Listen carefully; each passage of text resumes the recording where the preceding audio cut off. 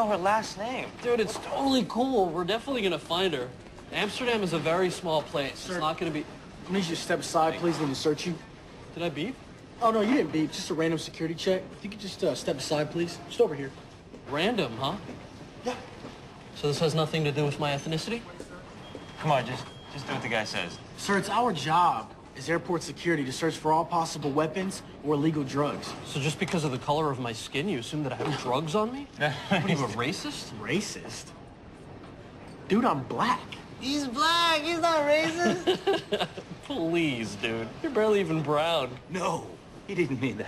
Compared to me, you look like Matthew Perry. Hey, who you calling Matthew Perry, bitch? I'm calling you Matthew Perry, you Matthew Perry-looking bitch. No, nobody here is Matthew Perry. No one. What is going on here? Sir Matthew Perry over here thinks that I have illegal narcotics on me because I'm a minority.